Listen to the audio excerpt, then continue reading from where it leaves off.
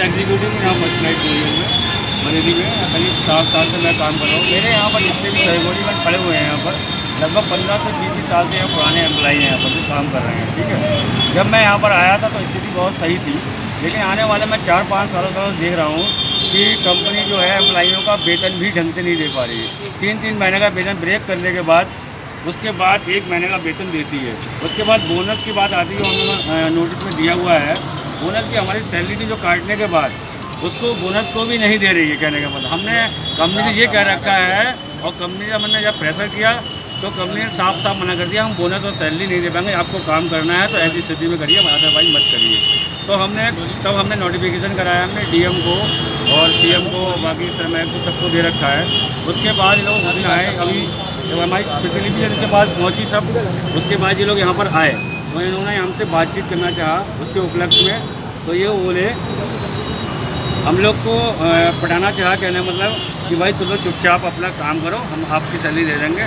तो हमने उसमें अवेलना कर रखी थी कि पूरी यूपी को हमको एक साथ चाहिए सैलरी।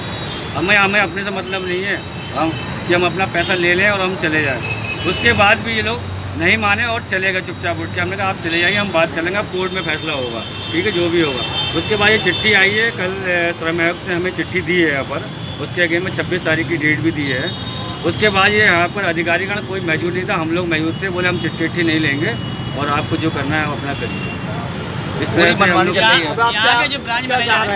हम लोग ये चाह रहे हैं सभी एम्प्लॉयों की सबकी मांग है पूरी यूपी में जबकि आज की डेट में अभी लखनऊ में हमारा आधा बंद है पूरा हमारा मंडल बंद है हमारे आठ नौ मंडल हैं।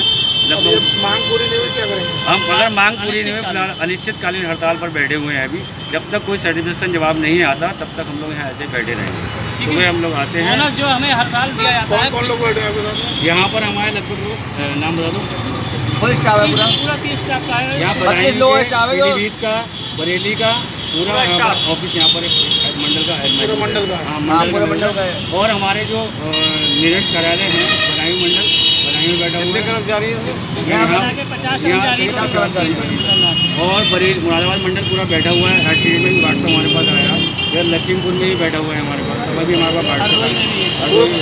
है हाँ लगभग लगभग हाँ होती जा रही है वहाँ सब लोग। समस्या यही है सब लोगों की।